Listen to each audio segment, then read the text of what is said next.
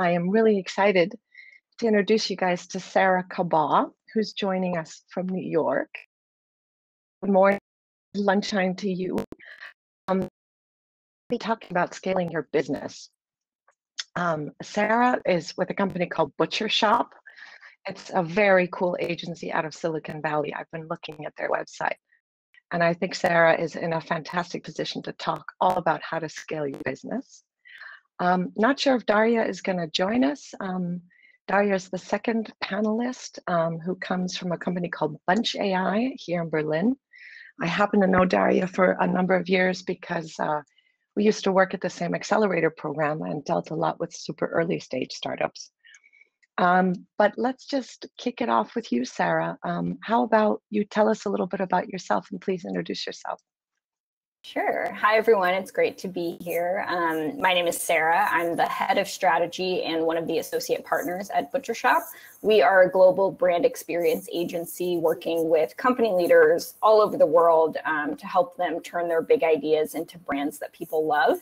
Um, I'm in an interesting position because, as the head of strategy, I work very closely with founders, CEOs, CMOs, growth leaders um, when they're at important inflection points in their company journey um, as they're trying to grow and scale their businesses. And particularly in my role, I try to bring research and discovery into our process whenever we can to help company leaders really ask the right questions and uncover opportunities for how they can differentiate from competitors, articulate what they stand for, and ultimately um, find unique ways for them to tell their stories. Um, so excited to be here and um, excited to share some of the things that I've learned from all of the different types of businesses that we've worked with. Fantastic. Thanks, Sara. And hey, Darja, nice to Hi. see you. Nice to be here. We're just starting the introduction rounds. I did a little bit of a, a tiny little curveball because I told the audience that you and I have met before. We spent quite a bit of time together at Startup Bootcamp, and then you guys launched successfully 12 Grapes, which is now Bunch AI, and you've raised some money, but nobody can do it justice. So please, you introduce yourself. Thank you so much. Um, yes, I mean, you've got it basically. I my background is um, psychology by training, but I'm a founder by, I guess, heart and uh, also um, mind at this point. And I'm currently leading a team that um, is 15 people strong and um, we're working with um, the product we're building actually is an AI leadership coach. So we work with a lot of companies and uh, individuals that um, are in like hyper scale environments, so that grow very quickly and therefore are in need of support in actually how to grow their young managers, um, oftentimes in high growth environments. And um, I'm sure you um, can relate to that. Um, there is not much time to actually learn and grow and expand your toolkit and expand your skill set. So we're basically creating a product that helps to shortcut that um, process a little bit, or at least provides a lot of support. So um, I'm one of three founders on the team, and we are a very kind of remote first and international team, and um, have grown, I think, from eight to yeah, I think about 15 now this year alone, which may not sound like a lot, but it's definitely a big change for a small team. I think that brings me sort of to to one of my first questions to you both, because um, we just wrote briefly an email, but Darja, you were saying that you know scaling sort of in in early stage is very different to you know scaling for later stage companies. so what I was thinking and, and trying to do a little bit of research, I went back to to read Hoffman's book on on blitz scaling, and maybe you can both tell me a little bit about what you think the differences are when you're scaling a super early stage startup and sort of the challenges and what you need to look out for. And then Sara, I would imagine that you work with sort of more mature companies um, that are not at the seed or early stage phase, but that but that are probably slightly larger. So I'd love to get your perspective. Maybe we start with with early stage. Darja, if you want. Yeah, I think, I mean, in the early stages, it like the word scale is already kind of scary because you are like three people, five people, seven people, 10 people, 20 people. And like none of this sounds like scale when you think about blitz scaling and like LinkedIn size and so on. Um, so yeah, it was really interesting to have this exchange before because for everyone who is listening, I actually um, was invited to speak. And then at first, I, of course, kind of backed off and said, I can't talk about scale. My company's like 15 people. what are you talking about? And I think Tanja made a really good point, which is um, going from a small kind of early stage team um, and being very nimble to a team of 50 people is actually also a change in scale in that sense. And that's absolutely true. So to give a few examples on challenges that we're facing currently, um, we have this like really core team at this point. Um, people that have been and wor- worked with us for the past three years, or yeah, I think three years is the longest. And um, we've been developing a lot of kind of machine learning technology, and our product development process has matured a lot. So we've been doing a lot of this kind of like grinding um, and experimenting and kind of really, really sussing out what the value proposition is, what the product is, iterating a lot on it. I think the current solution is actually like our third major iteration with like many, many, many um, iterations in between. So the very kind of typical journey. And I think throughout that time, you kind of start taking things for granted, like alignment, decision making process. Um, how do you get to plans? How do things actually work on time? Like, how does meeting culture look like? What are communication norms and all these things, right? They are just like organically grown, and everyone who developed them is kind of with you in the journey. And so it becomes more this like Navy SEALs type of environment where you're just like showing up, doing the job, moving forward, and everything is like super implicit. And it's also so beautiful because it's so implicit, because you don't actually need to like run behind people and, you know, point things out. But as you start hiring people that are amazing individuals, like we did, but that haven't been with us on that journey, um, we immediately discovered that we have a lot of gaps in documentation in how we actually were developing process. It wasn't clear what the norms are they weren't very explicit and especially nowadays in age you can't really expect people to come forward and kind of explicitly clarifying the job is with you as the founder and as the entrepreneur and as the leader of the company or the leader of the team to make these things clear and actually provide an inclusive environment where everyone can immediately kind of get up to speed and we absolutely were not ready for this. So we're still kind of in this transition period where we are um, catching up on this and like making it all better and, and increasing our documentation and transparency and communication and process. But it definitely was a huge challenge for us to kind of just go from this like super hyper speed implicit organic flow to like oh wait a minute we actually need to make clear which assumptions we're operating on and so on. So that's probably the early stage challenges by and large, at least from our experience and from my perspective. Yeah, that's fascinating because I think uh, there's there's probably a difference, like like back to to to Reid Hoffman, who writes, you know, scaling and un- uncertainty is is sort of more, you know, where you guys were, Whereas Sara, I'd love to know. Sorry, my voice. I haven't spoken to anybody all day, which is the weird thing about Corona when you live at home. but anyway, um, Sara, you probably work with different kinds of companies. Um, have you worked with a lot of startups or companies that are still figuring out their product market fit? Or I'm, my hypothesis would be you've got companies that have done that, that have figured it out, and that are now sort of more in hyper growth. We actually work with a wide range of different types of companies at different stages throughout their life cycle. Um, and it's been interesting to see the differences and the nuances between early stage companies and startups and companies who are further along in their life cycle and getting more mature. Um, I do think um, some of the interesting things about working with early stage companies is we're most often working directly with founders who typically are juggling multiple roles, wearing a lot of different hats, and they tend to be responsible for not just running the business, but they're also oftentimes head of marketing, head of customer success, head of product sometimes. Um, and so they they really do rely on us as a partner to kind of help bring that outside perspective that's going to help them um, embrace all the different things that they're focused on day to day. With more mature companies, we're typically working with larger teams, which means there's more stakeholders in the mix, more opinions and voices that we're juggling. Um, and sometimes it also means there's more resources, more established processes um, but at the same time, there's still challenges that they're facing every day, still a lot of unknown unknowns that they are coming up against in thinking about what their next step is going to be. And so the process does tend to be fairly similar, um, regardless of the size of the company that we're working with. There's still a really important process that we go through um, with companies of any size to really help them figure out where they are today, where they want to be in the future, and what are the potential roadblocks that they're going to be running into. So um, it, it has been an interesting experience just to kind of see not just the differences, but more the similarities that exist.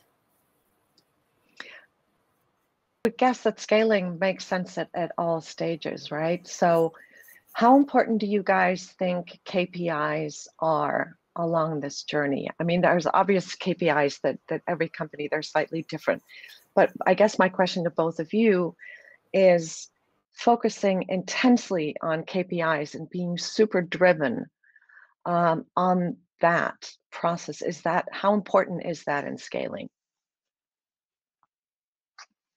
Maybe I can chime in actually. Um, as I mentioned, we had these kind of like bigger iterations on the problem, or like we, we did like three different approaches to the problem with um, a slightly different product setup. And the one we are um, having now is by far the most successful. I mean, it's also we went from B2B to B2C, so like the scale of numbers changes anyways.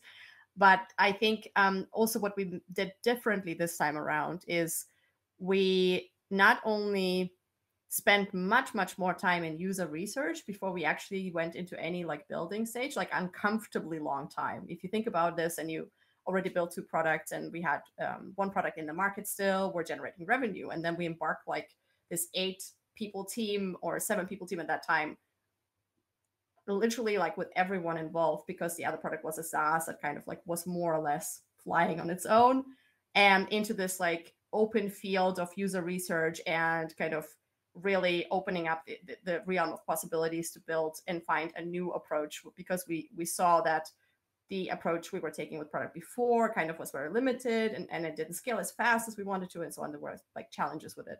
Um, it was really uncomfortable. And one of the things that we did because it was so uncomfortable and we already had investor support which by the way when you kind of start from scratch on a whiteboard with like a new uh, perspective on the on the user problem, even if the user problem is related to what you were doing before, and you already have investors in the boat, it's like a whole different animal than like just sitting with three people in the room and you know talking about like how passionate you are about the problem and how to solve it. So maybe that's why we also were more structured about it because we also had to report, etc.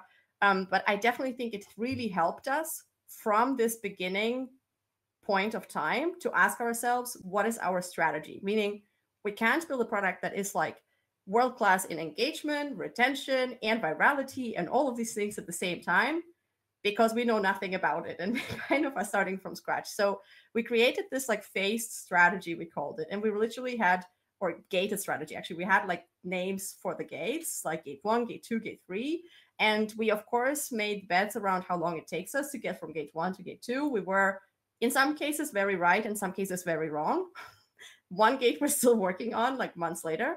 But these gates were defined by KPI thresholds. So to give you an example, we said we want to have a product um, that is highly engaging because all our competitors are approaching it also from a B2B perspective. And it's like um, sell a solution into the HR department and really focus on revenue, but not so much on adoption. And we were basically coming in and saying, we want to create a solution that really people love to use and we actually bring into organizations and users really really want to have it and they are using it every day and that's going to be our competitive advantage. And so we said that engagement is kind of our like north star. We need to reach that first and we defined it as i think um, weekly active users divided by monthly active users and we did research. We also talked to our investors about it. We kind of like picked one meaningful kpi and we stuck with this and we defined, I think, that we wanted to have a threshold of 50%. So every second person that is like a monthly user actually is also weekly active, which is quite um, ambitious and substantial for a mobile product. Um, but we almost reached it. We are actually in right now at 47%. So it's it's possible, but it was only possible because we kind of had like three numbers at each gate. And we knew that if we don't pass this we can't really be busy with like the acquisition yet so much. We can do it on the side, but we can't really pull everyone off engagement work and really focus on acquisition until we laid the foundation. And that really, really helped us, I think. Okay, that makes a lot of sense. Um, so Sara, have you, there's a lot of questions, but I have to try to back off. I've, I've still got mine to go through with you guys. But do you think, what, what do you think are some of the common mistakes um, that startups make scale? What are some of the wrong things that they focus on? Because you, Dari, you figured, you figured it out, right? From what I understand. I would say we do have product market fit, but we are optimizing it. And the stage we're in right now is based scalable growth mechanics. So we have like three loops that are working like great, and then we still need like at least two more in order to reach our level. So we are kind of in the construction zone on acquisition, uh, basically. But I would say on like engagement retention, we are um, in the top 10% of mobile apps actually. So I think we achieved that, but definitely many mistakes made. I do want to hear what Sara has to say. Yeah. Yeah. Yeah, I mean, thinking broadly about this topic, you know, I mentioned earlier about when we work with company founders who are wearing multiple hats. I think sometimes, too, what we notice with smaller and early stage companies is that they're very much inside an echo chamber sometimes. And um, I loved what you had to say about user research because I think not a lot of companies are embracing that. And I think it's incredibly important to get out there and talk to your customers, get feedback. Um, also, getting outside perspectives from investors or even peers in the industry. It doesn't always have to be an agency partner like Butchershop, but I think that's one of the most important things that we see in trying to help companies avoid some of the mistakes when they're scaling their business. They can get just so immersed in the day to day, they're living and breathing their brand every day, and they get almost too close to it to be able to take a step back and see the big picture.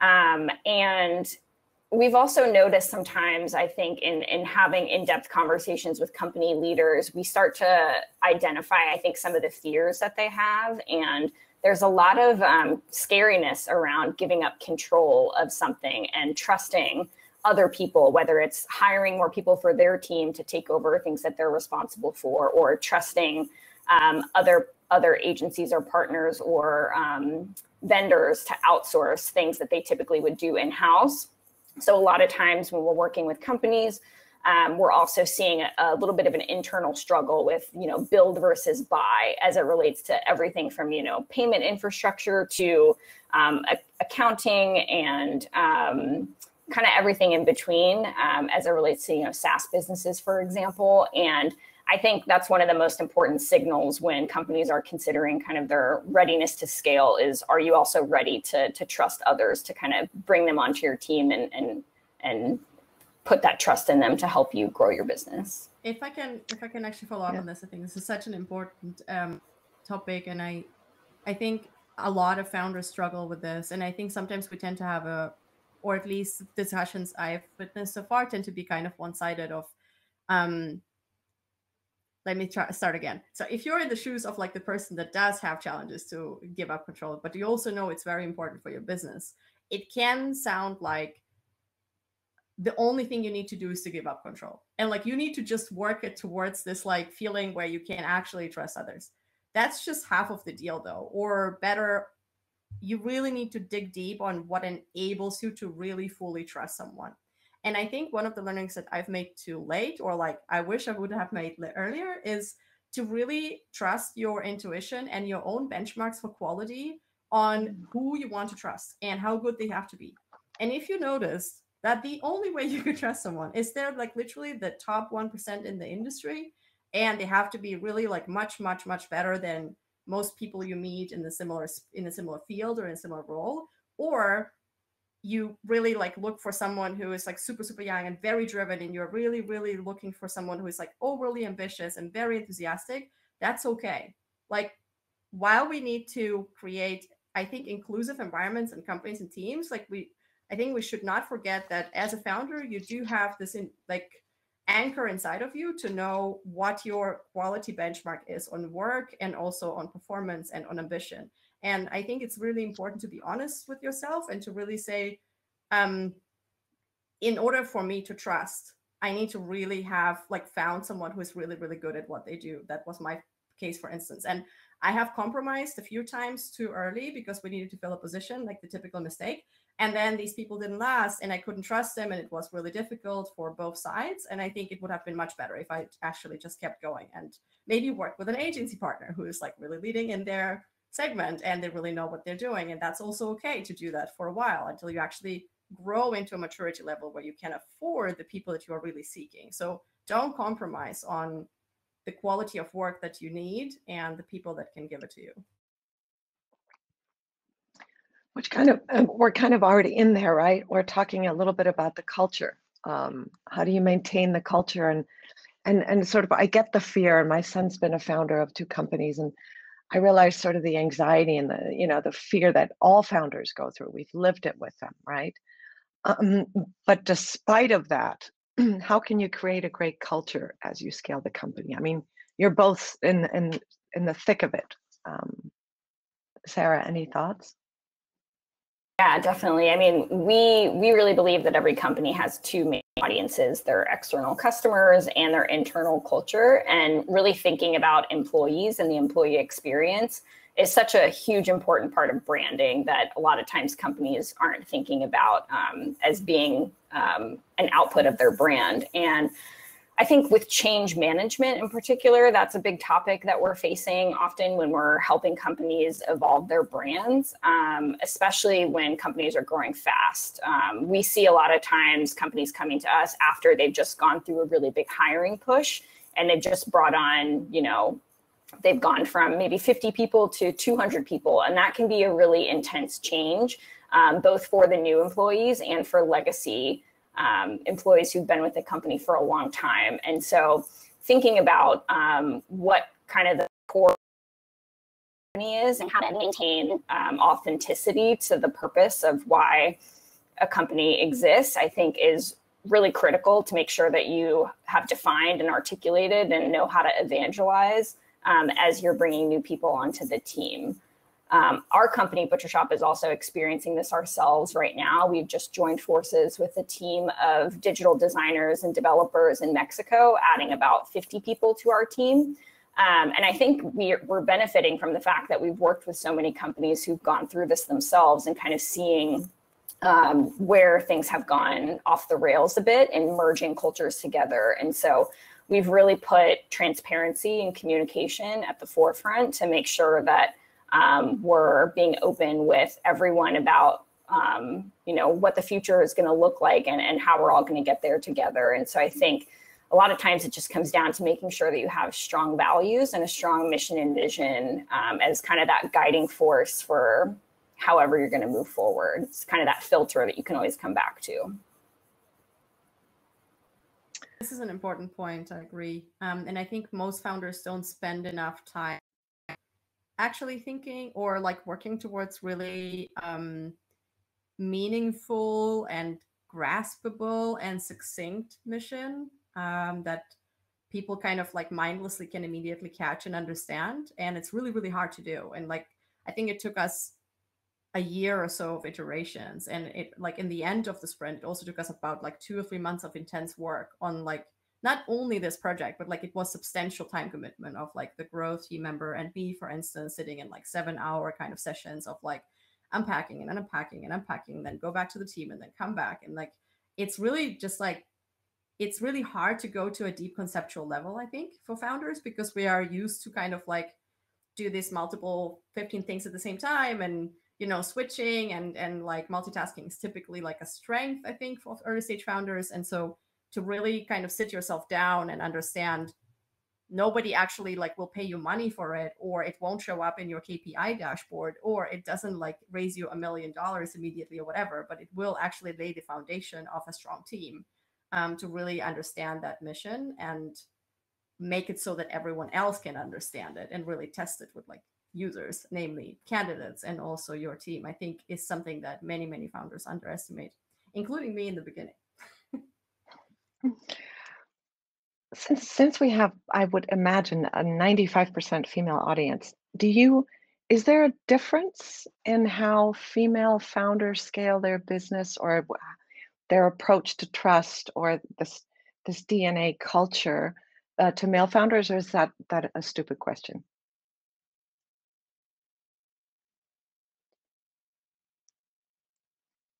Sara?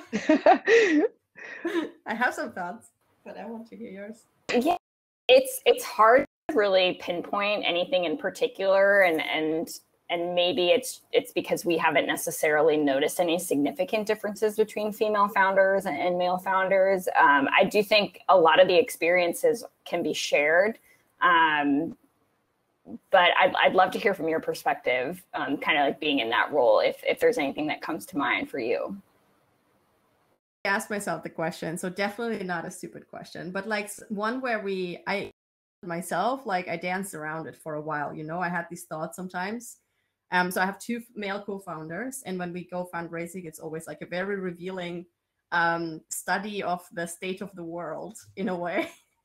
what does the world like think about gender? And as we kind of uh, progress through um, funding rounds, we had like two major ones. Um, you you felt the difference already, and every time we kind of like retrospect on it. So after the second fundraising round, we actually sat down and talked about how we like perceived it, and we had a few funny interactions with like male VCs and so on. And I really asked myself the, the question of, um, or I had this thought that I didn't dare to ask to my co-founders, like, do you regret being um, led by a female CEO? Because, well, we do get lower valuation sometimes. We, it's harder to raise money. Like, imagine you would be um, like three men, three white dudes, whatever. Like, it's so much easier and so on. I, I don't think it's true anymore, to be fair, but I think when we raised our first round, just like 2017, 2018, that was definitely true in Europe, like no comparison. And I do think that because of the societal setup and like because of the biases and we know, it creates a few constraints on female-led companies that don't necessarily exist in male-led companies. But that can also happen with other um, marginalized groups. So like I, I can imagine that BIPOC founders struggle with the same. So it's not only like a female thing, I think the fact that you always have kind of like shorter timelines in which you have to present the same KPIs and it always feels like you need to make magic happen. It's kind of like going back to school or like university or whatever, where like you have to have better grades, like land the same job. And um, I definitely think there's it's still out there. Like at least in my perception, I can still feel it. And for teams that work with female founders, that definitely means that they have to be like sometimes more resilient and more kind of passion led maybe and mission driven as well to you know put up with it in a way like i don't i yet have to see a female company that kind of like i don't know throws out money for like unnecessary benefits and like isn't intentional about exactly which type of environment they create i think the resourcefulness maybe is something that female led teams kind of have to have because otherwise it's going to be tricky to reach the standards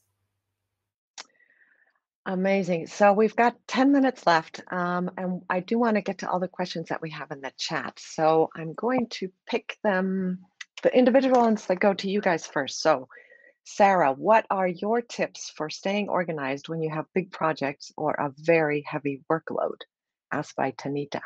Thanks for the question, Tanita. That's a great question. Um, I think prioritization is key, being able to sort of tackle the things that are the most difficult on your list first. I think we have a saying here. I don't know if it translates to, to everyone, but eating the frog. Um, uh, just trying to um, take care of the things that are maybe the scariest on your to-do list. Um, in terms of big projects too, I think um, giving yourself digestible tasks is great. I mean, I'm typically juggling maybe four to five different projects at a time and the context switching between things can be really difficult um, which i'm sure many many people experience as well especially if you're in a position where you are juggling multiple responsibilities and um, you know wearing different hats um, but being able to sort of segment your day in a way where you can focus on one thing at a time without distractions and then jumping to the next thing um, kind of carving out um, times throughout the day when you're focused on on one particular task over the other has been helpful for me at least. I also use my Google Calendar as almost like my to-do list, blocking out um, times throughout the day when I need to remind myself to work on something. Um, but it can be confusing for people on my team when they're trying to schedule meetings with me, seeing that my calendar is almost fully blocked off, which um, tends to need some clarification for what they can book over. I'm I'm guilty very guilty of doing the exact same thing. So there's a question for you, Daria, also by Tanita. What skills do you regard as the most important for someone to be a successful leader? Hmm. question. Thank you for this. Mm-hmm. Um, I would probably not answer it like from my perspective because I do think it's a behavioral, like it's a set of behaviors. That's what how we define leadership at Bunch is the ability to influence yourself and others in a positive way, which means you kind of need to do things for it every day. It's not like a thing that you have or don't have. And we ran a survey not so long ago with our user base actually. What they think are like the top three skills because we offer a range in the app um, that yeah future proof leaders need to have and develop. And the number one skill actually surprisingly because it was so clear it's like 57% said it uh, was emotional intelligence. Mm-hmm. before results orientation before managing complexity before being resourcefulness and all the other things so I think emotional intelligence is probably one. And the second one actually was um, being humble, like humility. So being able to pull yourself out and question yourself first, which I think made me made me very hopeful about the future of the world. Amazing. Um, question: Do you guys can any of you can you both talk about what it's like um, basically to scale up a business, being a working mom that doesn't rely on babysitting beyond kindergarten. Thoughts on time investment? Have you uh, guys uh, so experienced it? If I may get personal, have you guys, are you working moms? Okay, then no. I'll have to answer that. Damn it! I've uh, I've been a single mom and a working mom um, most of my life, actually my my entire life. Um, and I've managed to to just try to raise two kids um, and also juggling work. And I think I think you need to be almost um, obsessed with maintaining a schedule to keep sanity. I mean, that's helped me out. I think my friends, I was doing my MBA when I was 21 when I um, got pregnant the first time. Um, and I think what helped me through it beyond um, all the kindergarten stuff, which I didn't really have, it's just maintaining a rigorous schedule. My friends would laugh and say, "Oh my God, it must be seven o'clock. Tanja's doing this." Yeah, maybe that helps. Um, here's another question that goes more into specifics for you, Darja. Um, Gabriella asks, "Any tips on how to make a proper market research in order to launch a new tech product to the market?" Um, she's doing this right now. Yes, many. I'm gonna rattle it down, and then please um, follow me on uh, Twitter, maybe, or add me on LinkedIn too, so we can I can give you like more links. Um, so I think that's probably uh, hopefully helpful. Um, I think beyond the normal stack of like GV sprints. If you haven't checked that out yet, it's a really good tool for like the early stages. Um, or if you're working with other people, like working with a team, I think it's really good. There is new books from Alex Osterwalder around um, mm-hmm. the business model testing. The best book investment of all times. Like it literally has like 67 ways of how to run business experiments. Like please use all of them. And he also gives like a good guideline on which one to use when based on how much confidence you have and things like this. Um, something that we just tried on um, at Bunch because when we launched the first iteration, we actually used a, a, model or framework from Brian Balfour from Reforge. I don't know if you're familiar with that, but that's also definitely wor- worth checking out. Um, he ha- also has a paid course. We kind of got some of the content for free from friends, and then we paid for it because it was really worth it. So with that, we were able to get a really good um, kind of default uh, baseline of the product. But in order to take it to like this, from the top ten percent of like engagement into like top three, which is what we're headed for, where literally like I don't know Netflix and Spotify and people like this live. we needed more, and so I found this uh, woman that uh, wrote this book. It's called Game Thinking and she's in San Francisco and she worked with um, basically she was on the team of um, creators behind The Sims and Rock Band, and she works with Netflix and Disney and many other like um, Valley-based companies, and she developed an amazing framework to make sure you speak to the right people. And that's kind of like my new thing is i'm walking around and like really preaching check out this book and check out the woman. Her name is amy jo kim and she really helped us out so much because we had um, when we started this like second like leveling up of the MVP, we had 18,000 users and listening to 18,000 users is extremely hard if like the youngest one is 16 and the oldest one is like 67 and they're all in different parts of the world and that's what, what was our situation so my backlog was like i was exploding basically and i didn't know how to deal with it and so she really helped us out and the key word there is you really need to understand the psychographics. She creates a really good, um, almost scientific model how to do that and how to get to the hardcore users. Now we have a library of like 30 people that we work with consistently, and this has eased things up so much for us. So I can highly recommend the book. It's called Game Thinking, and also following her on Twitter. Hope this is helpful, but please add me on Twitter, Darja, Darja Gutnick, and I'll be able to send you more. Like so many mistakes made. It's a very under communicated field, I think, and people take it like as too. That is brilliant advice. Thank you. Thank you very much for sharing that. That's exactly, I think, what everyone who's listening here wants to hear.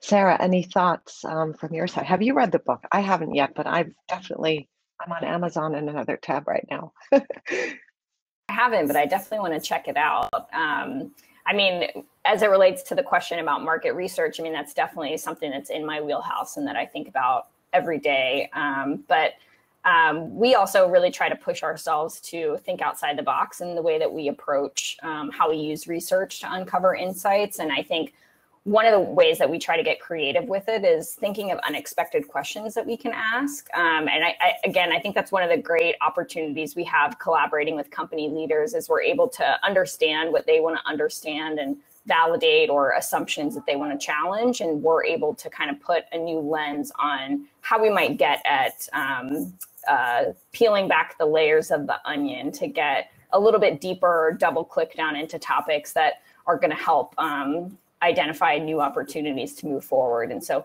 we we always rely on um, first and foremost conversations with people, talking to customers, talking to users, um, internal stakeholders, getting as many perspectives as we can, but also um, just getting out in culture and kind trying to see what's happening out in the world that connects back to businesses. So um, we always try to get as many data points as possible and sort of look at it as a little bit of a um, an exercise in putting a puzzle together, looking at all the pieces that are out there and and trying to find different ways that we can um, connect the dots. Thank you guys so much. I don't know when they're going to kick us out. I think our time is up, but I think let's try and go back to some of the most important things that we've learned. Um, I think we started out with in scaling a company the dangers of echo chambers. I think we can agree on that. Um, we talked a little bit about the super hyper importance of market research, uh, user research in particular. Um, and that when scaling, I guess one of the biggest challenges is trusting your intuition um, and and trusting others when that process comes when you need to outsource tasks um, to to external people. Um, I think also the importance and the core DNA of a company, um, how important it is to evangelize on the core DNA um, relating to you know the culture as companies scale and and the teams um, enhanced. And we also have a book to read called game thinking. And we're going to be using Alex Osterwalder and all of his tips on scaling. It's been an absolute pleasure, ladies.